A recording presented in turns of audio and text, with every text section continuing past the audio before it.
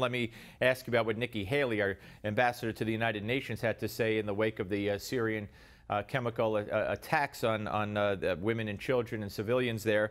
Um, she said, among other things, she first she held up pictures um, of uh, some of the children uh, victims of that attack. She said that Russia is involved and engaged in a false narrative of the situation there.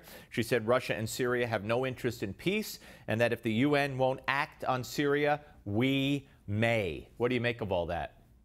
Well, clearly, what Assad has been doing, and I, I can't quite understand or figure out why he would be doing this. Clearly, they're making progress in this war, but why go to, uh, you know, why use chemical weapons? Uh, why terrorize your own civilians, especially uh, with his hope and expectation that one day again he will have all of these civilians under his control. So I can't understand him.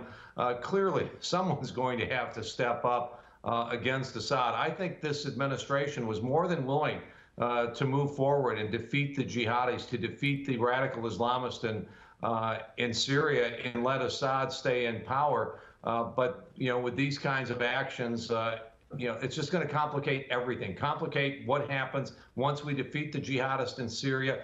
It's going to complicate what can we do with Russia in other parts of uh, the Middle East where radical jihadists are a, a threat. Uh, it, it's very, very hard to understand and explain.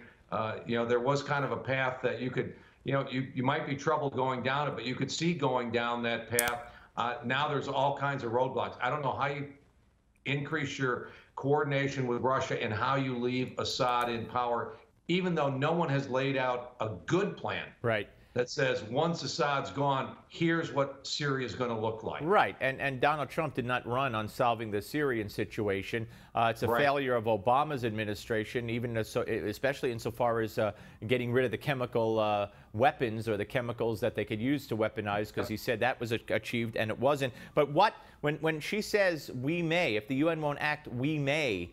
Uh, do you sense militarily um, well, I mean, the you know economic sanctions aren't going to have much of an impact.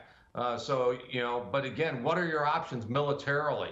Uh, you know, are you going to go in there? You've got Russian troops fighting alongside, uh, you know, or Russian planes flying alongside uh, Assad's troops on the ground. Uh, Syria is one ugly mess. I don't understand exactly maybe what Nikki's saying, or I don't really see any good options uh, in Syria. I don't think Donald Trump is going to put U.S. boots on the ground uh, to defeat Assad in Syria. Yep.